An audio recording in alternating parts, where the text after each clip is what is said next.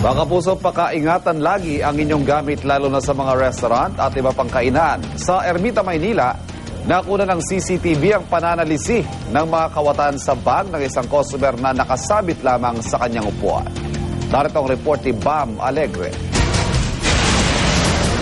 Sa CCTV video na ito, kuhang-kuha sa aktong nananalisi ang mga kawatan sa isang kainan sa loob ng mall sa Ermita, Manila.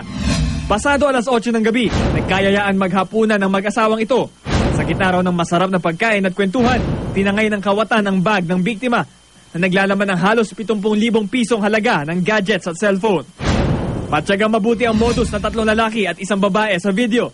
Nakaupo ang grupo sa likuran ng kanilang bibiktimahin, kung saan naroon din sa tabi nito ang bag na target ng mga kabatan. Kapansin-pansin sa video na hindi na mapakali ang isa sa mga suspect. Paikot-ikot na sa paligid ang kanyang mga tingin. Maya-maya pa ay tumagilid na ito ng upo at tila nag-antay ng tiyempo na malimas ang bag. Habang abala ito, tumayo naman ang kasamahan niyang lalaki. Nagtungo ito sa counter at tila may in-order.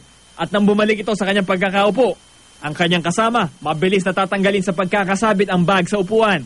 Pagkatapos ay ipapasa niya ito sa isa pa nilang kasabwat na idadaan sa ilalim ng lamesa. Tangay ang bag, agad natatakas ang mga suspect. It's been 3 minutes na nung mapansin namin na nawawala.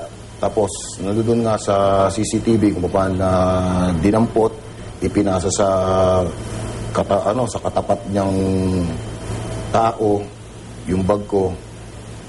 And then, yung security ng mall, nagdatingan, pero wala rin nangyari. Hindi rin namin nakita na yung mga tao, mukhang nakalabas na. Lalo na't papalapit na ang Pasko, muling pinaalalahanan ng pulisya ang publiko.